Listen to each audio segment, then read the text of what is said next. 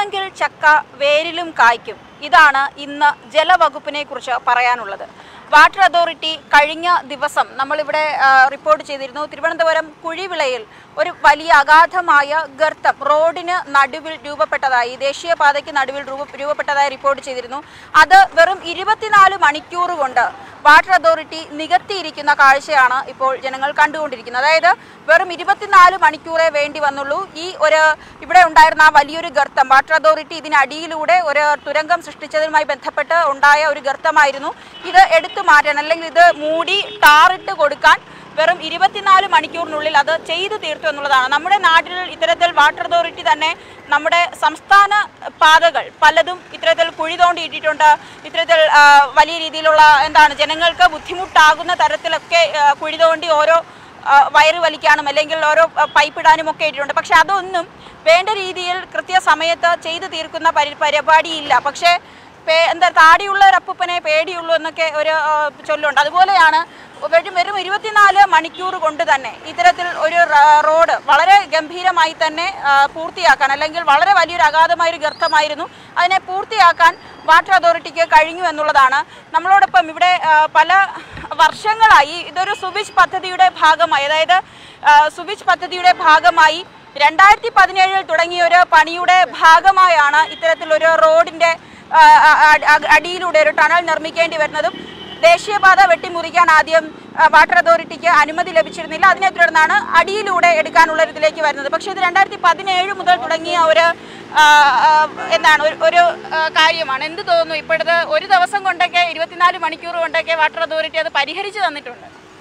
പരിഹരിച്ചു തന്നു. പക്ഷേ അത് ബൈ ബൈപ്പാസ് ആയതുകൊണ്ട് പെട്ടെന്ന് പണി തീർത്തേ പറ്റുള്ളൂ.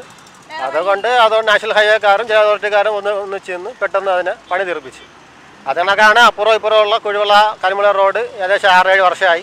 അത് ഇതുവരെയ്ക്കും ഒന്നും പണി ഇതുവരെ തീർന്നിട്ടില്ല.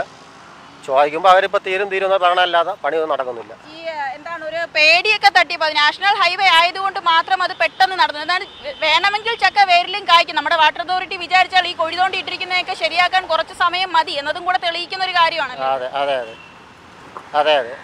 അതിന്റെ ഇന്നലെ പെട്ടെന്ന് പണി തീർത്ത്. ഇനിയിപ്പോൾ രണ്ട് ദിവസം ടാറയും പറഞ്ഞിട്ടുണ്ടായിരുന്നു. ഇപ്പൊ ഇത് ഉറച്ചു ഉടനെ രണ്ട് ദിവസം നേരത്തെ ടാറയൊന്ന് അതോറിറ്റി പറഞ്ഞിട്ടുണ്ടായിരുന്നു. രണ്ടായിരത്തി പതിനേഴ് മുതൽ തുടങ്ങിയ ഒരു പണിയാണ്. വളരെ വലിയ രീതിയിലുള്ള ബുദ്ധിമുട്ടുകളൊക്കെ ഇതുമായി ബന്ധപ്പെട്ട് അങ്ങ് ആ ഭാഗത്തുള്ളവർ ഈ ഭാഗത്തുള്ളവർ നേരിടുന്നു എന്നൊക്കെ പറഞ്ഞിട്ടുണ്ട്. അതെ ഇവിടെ വണ്ടി ഓടിക്കുന്നവരൊക്കെ അങ്ങോട്ടും അതായത് കരിമുളയിൽ പൗണ്ടോടെ റോഡിലൊന്നും പോകാൻ പറ്റുന്നില്ല. നടന്നു പോകാൻ പോലും പറ്റുന്നില്ല.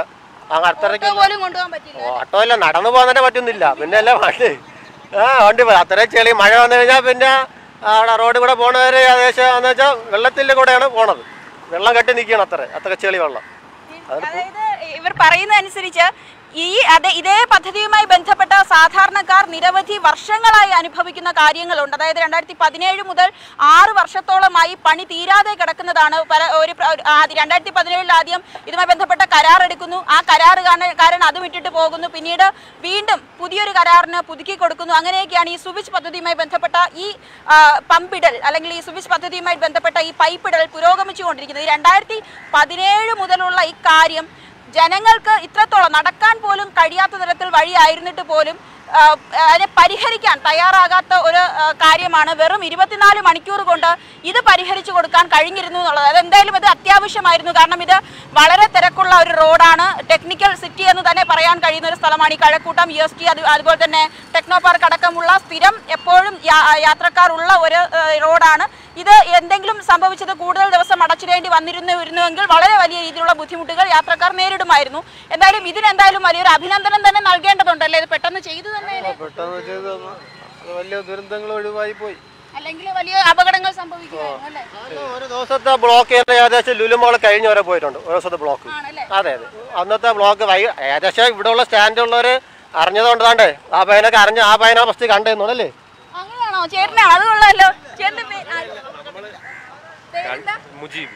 ഓക്കെ ആദ്യമായിട്ട് അങ്ങനെ ഈ ഗർത്തം ഇത്രയും വലുതായിട്ടുള്ളതെന്ന് അറിയിക്കുന്നത് ചേട്ടനാണ് അതെ അതെ. നമ്മൾ ഇവിടെ ഒരു രണ്ട് മൂന്ന് ഓട്ടോക്കാരുണ്ടായിരുന്നു. ഇടിഞ്ഞല്ലേ ഇടിഞ്ഞ് താരുന്നതായിട്ട് പുള്ളി ചെറുതായിട്ട് കാണുന്നുണ്ട്. കാണുമ്പോൾ പുള്ളി ആടൊക്കെ പറഞ്ഞിട്ടുണ്ടായിരുന്നു.